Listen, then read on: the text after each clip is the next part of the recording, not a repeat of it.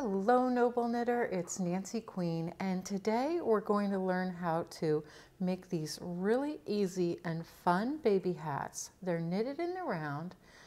They use double pointed needles. Now don't freak out and don't tune out because I'm going to show you exactly how to use these needles and you'll become a master by the time this hat is done. You'll also learn to decrease in the round and knit I-cord. So there's a lot to learn in this video. Let's dive right in.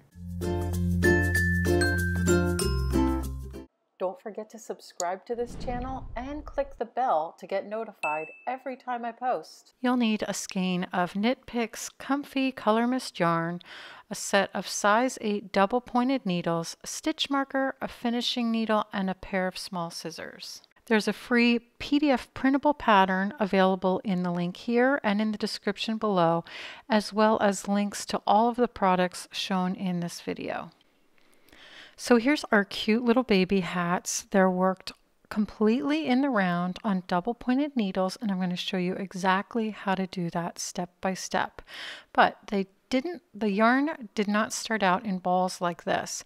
It started out in a hank, and that is the way a lot of manufacturers put up their yarn if they're hand dyed or luxurious or want you to see the different um, color variations to them. So what you have to do before you knit it is you cannot knit it like this because it's a twisted up loop.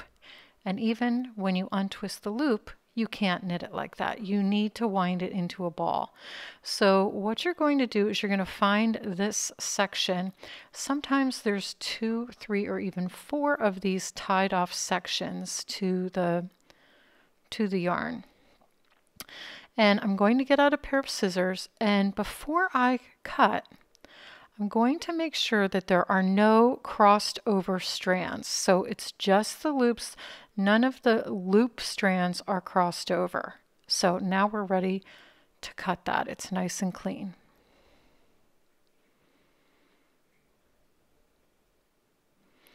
And once I've cut it, that's both ends of the yarn. I'm just going to carefully undo that wrapping. And now you'll see I have one end of the yarn and the other end of the yarn. I'm going to cut that little knot. And now I'm going to straighten out the loop so that I can wind it into a ball. And a lot of times you'll see um, you could put this on the back of a chair. You could put the loop over your knees, or you could have somebody else hold the loop while you wind. But this is how you wind it into a ball and you're just going to keep winding and winding until all of the loops are wound up in the ball and you want to make sure that that all the loops that are on the table don't get tangled on each other.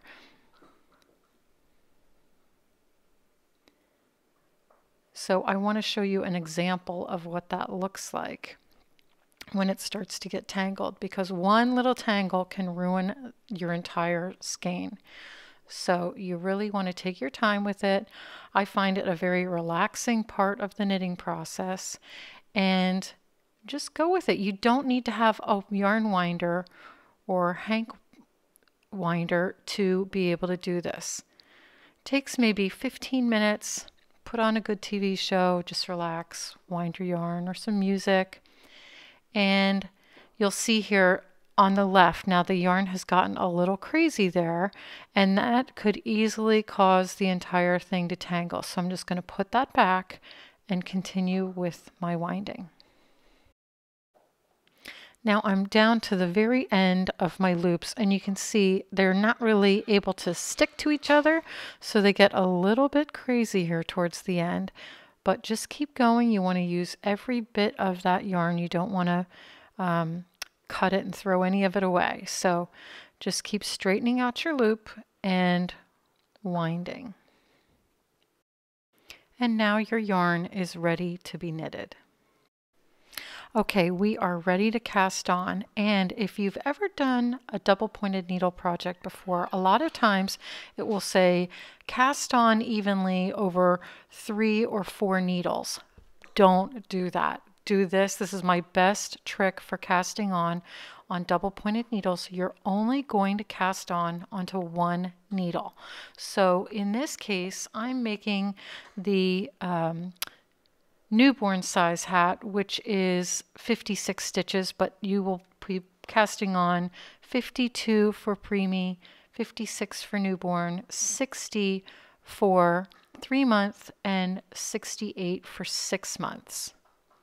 So put all of those stitches on the needle. Like I said, I'm putting on 56 stitches and they will easily fit on the needle.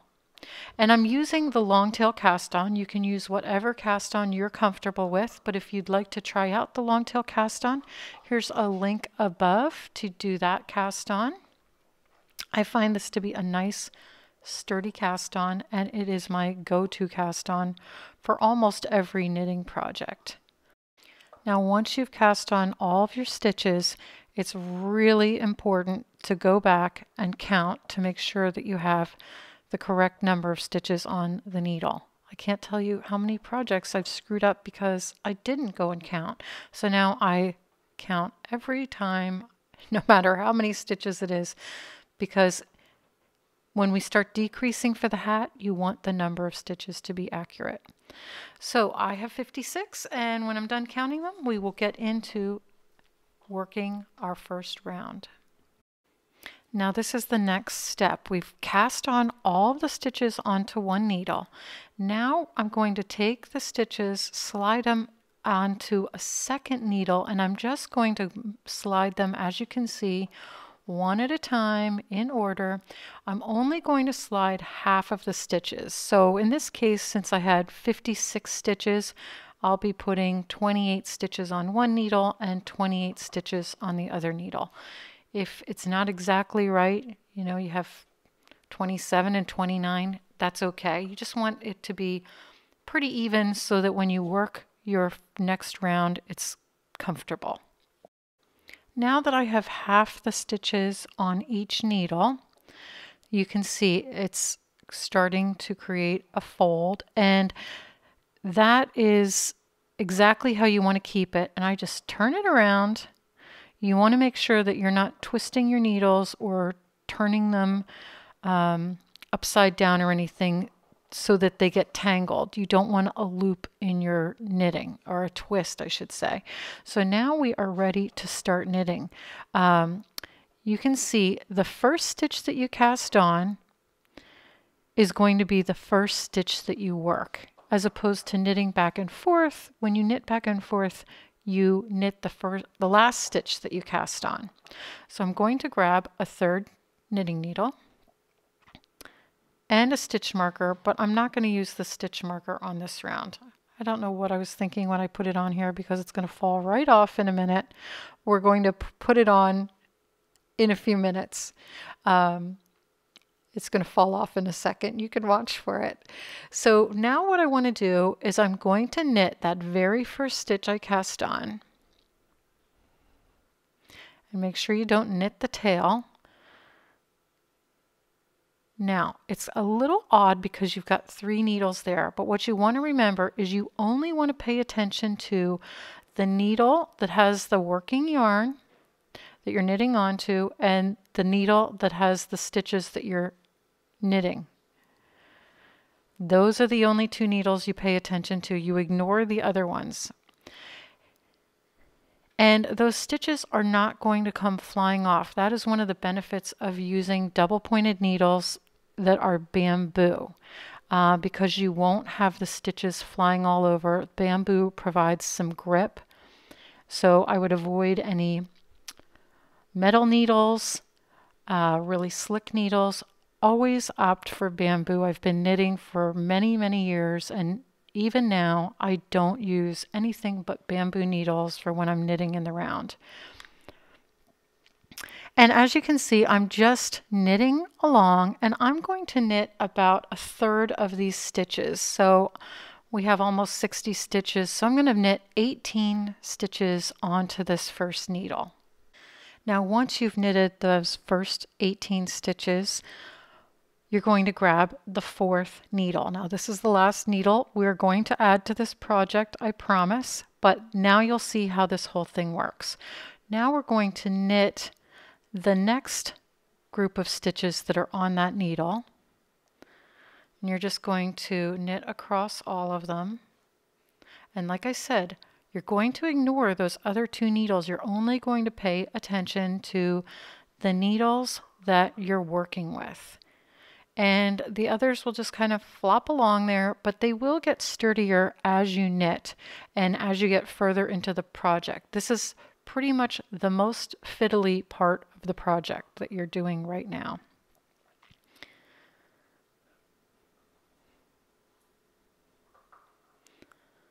And take your time with it. It's a whole new technique you're learning. But once you learn how to knit double points, you can knit so many things. You can knit socks, you can knit cuffs on sweaters, you can knit small toys and other little projects. They just expands it just expands your range of knitting ability. So let's see, I don't have 18 stitches on there. So I'm going to take a few more off of the next needle and I'm just going to set that fourth needle aside for a minute and knit so that I have a total of 18 stitches on the second needle. See how we're evenly spreading them out without having to start that way?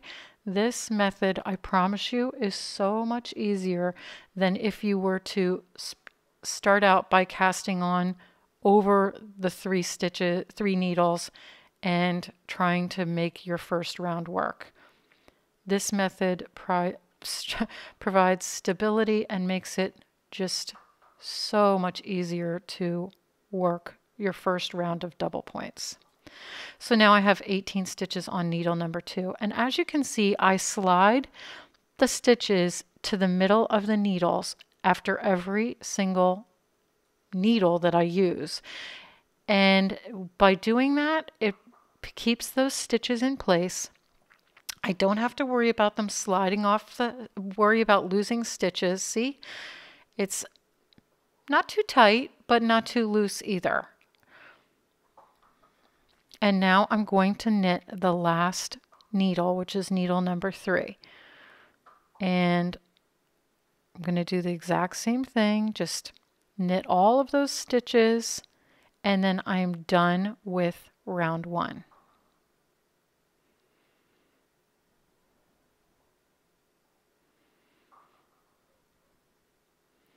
As you can see, when we get more stitches on each needle, it just makes it more stable and easier to work. Now we've finished round one and you can see we're just knitting around and around. And the advantage of double pointed needles is that it allows you to just knit tinier and tinier and tinier without having to struggle. So to knit the second round, I'm going to pick up that fourth needle, my working needle, and knit the first stitch. Now I'm going to place my stitch marker between stitch number one and stitch number two. And the reason we do that is so that it doesn't fall off the needle like it did for me a few minutes ago. So you always place it between the first and second needle. And we are just going to keep knitting around taking our time like I said, you are only going to pay attention to the two needles you are working with at the time. You can ignore the other needles. They're not going to go anywhere and you're not going to lose stitches. Now this is a common problem. Let's say you set your knitting down and you come back to it and you're just not sure where you are in your knitting. Well, first of all, see these beautiful little V's? That is the stockinette, the front of the work, and these little purl bumps or ridges, that's the back of your work. So you always want to be looking at the stockinette side. Then what you want to do is you want to find the string where the yarn is attached. And the yarn will always be on the inside of the work in the back. And you will always be looking at the stockinette front, the front of the stockinette stitch and then you just pick up your work and continue knitting. That's all there is to it. So you're not making a mistake and knitting the wrong direction. So you're knitting happily along without a care in the world, enjoying the knitting, and you set down your work only to find that, uh, oh no, I only have two needles, and the other two needles are just laying here. What did I do? Where did I go wrong? Should I panic? No need to panic. What happened is you knitted one whole section that was on the third double pointed needle all onto one. All you need to do is pick up that third needle and then slip half of the stitches back onto the needle. That's all there is to it. And then you'll be back onto three needles in no time. You'll pick up your fourth needle and continue along. Now you will keep knitting around and around like that.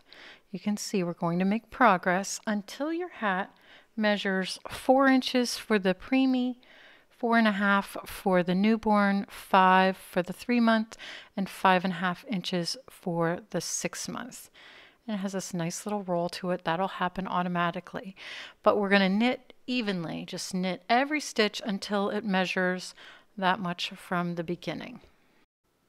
Now you're going to need a ruler, but I'm going to show you how to measure your knitting to make sure it's the right length.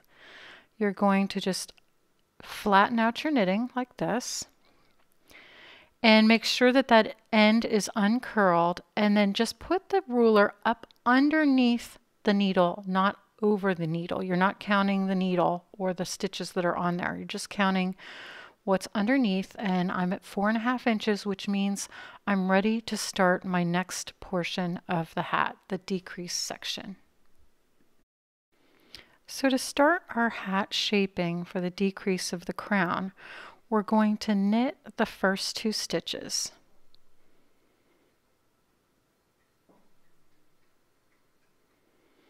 So I'll knit the first one, slide the marker, knit the second one, and now I'm going to knit the next two stitches together. So I put my needle in both stitches, wrap the yarn around, and then bring up the new stitch and I've just decreased one stitch by doing that. It's called a knit two together. So then I'll just knit two more stitches and then do another knit two together decrease. That's all there is to decreasing. You can do this. So knit one, knit another, now go into the next two stitches and knit those together. And you're just going to keep doing this all the way around. Knit two stitches, then knit the next two together.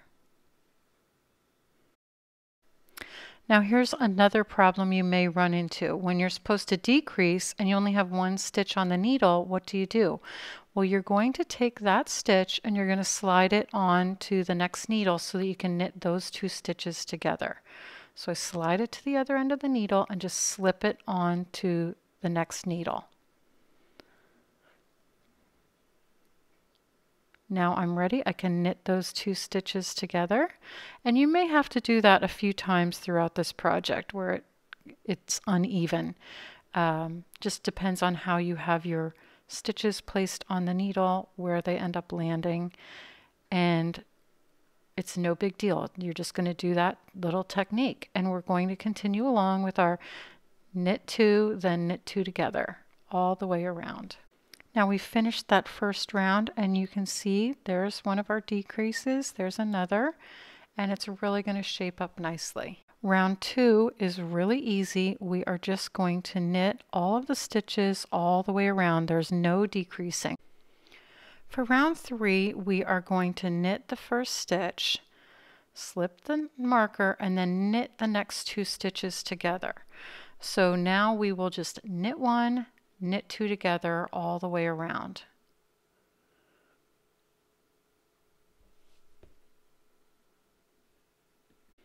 Round four is another easy round. We're just going to knit all of the stitches all the way around. So if you notice we have on our decrease section of our crown, we have a decrease round and then an evenly knit round. Round five, we are going to knit two stitches together and then we're going to do that all the way around the row. So it's knit two together, knit two together, knit two together, all the way around. But we have this stitch marker here between the first and second stitches. So I'm going to take that off, slide the stitch back on, and now I can do my knit two together on my first two stitches.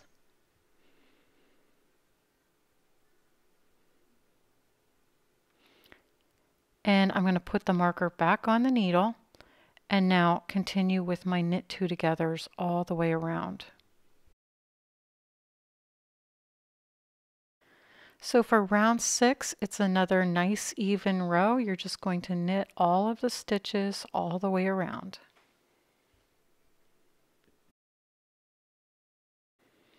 Round seven, you are going to knit two together all the way around. So again, we need to take care of that stitch marker. So I'm going to slip the first stitch off, remove the marker, and then slide that back on. And at this point, we're pretty well down to the wire. I don't think that you'll need the stitch marker. So if you feel like you need it, slide it back on, but we're really down to just a few stitches left on the needle. And like I said, we're going to knit two together all the way around. Now I finished that round and I've slid my stitches down to be over two stitches. And now I'm going to do a knit two together one more time all the way around. And I have seven stitches on my needle right now.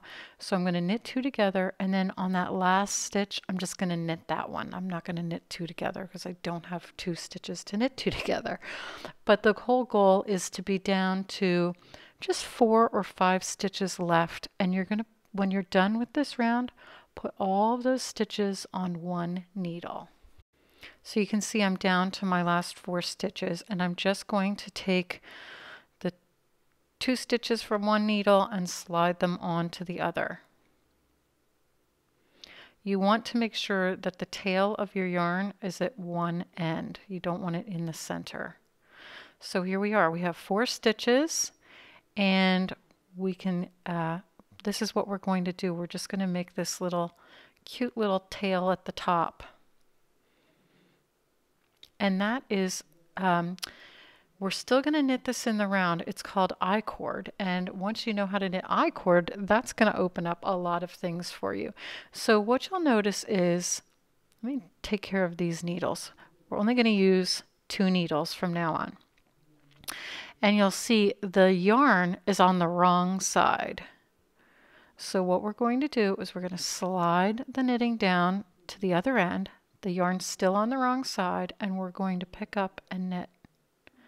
We're going to knit all four of those stitches or five, whatever you have. You're just going to knit them. Don't worry about pulling it hard or anything. Just maintain your same tension. And it's going to make this cute little round four stitch piece. It's a little cord at the top. And there it is. So we have the tail is again at the wrong end and we're going to slide it back down. There it is. Slide it back down and knit again. You'll just bring the tail from the back. Don't worry about the strand being long. In the magic of knitting, this will work out beautifully. You're going to be amazed at how cute it looks. And we're just going to do this for the next for five rounds total. You're going to make I-cord. And see how it's looking? It's looking really good. So tails at the wrong end, slide the stitches down and knit them again. Now when you've finished your five rounds of I-cord, you're going to need a pair of scissors and I cut mine leaving about an 8 inch tail, 6 to 8 inches, and then thread that with your finishing needle. And now I'm going to go back into my stitches one at a time and pick up those live stitches with my needle.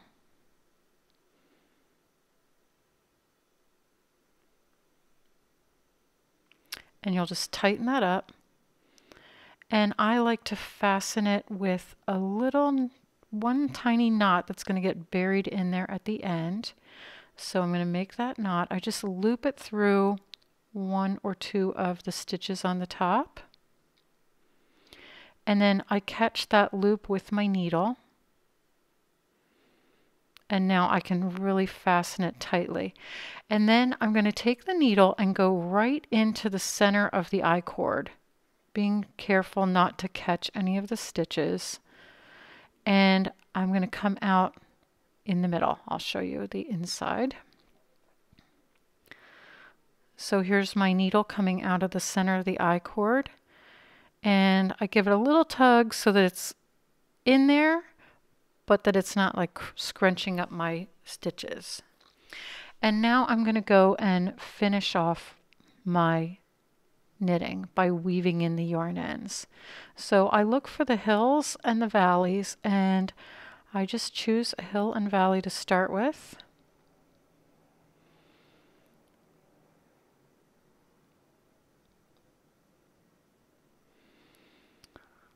And then I follow that along to this, I follow that valley and now I'm at a hill so I'll follow that along and go back into where I came out of and I'll just keep repeating this all the way along until I probably four or five times until I feel like that strand is really secure in there. I don't want this to become to come undone because I want this to be a washable project that, you know, need to be able to wash a baby hat. So by doing this weaving in of the yarn ends, I know that my tail's not going to come out. And you can't see it on the outside. Now I'll clip that close to the work and then I'll just unfurl it a little bit so that it's not going to pop through to the other side. And now I will do the exact same thing with this tail and I, I like to close up that gap between the first and last stitch. So I come over here, I'm going to bury it into the back, and then I'm going to do the exact same thing following the hills and the valleys. Now what you're going to want to do next is give your hat a nice little roll. Don't forget to go ahead and download that free pattern in the link above and I will see you in the next video.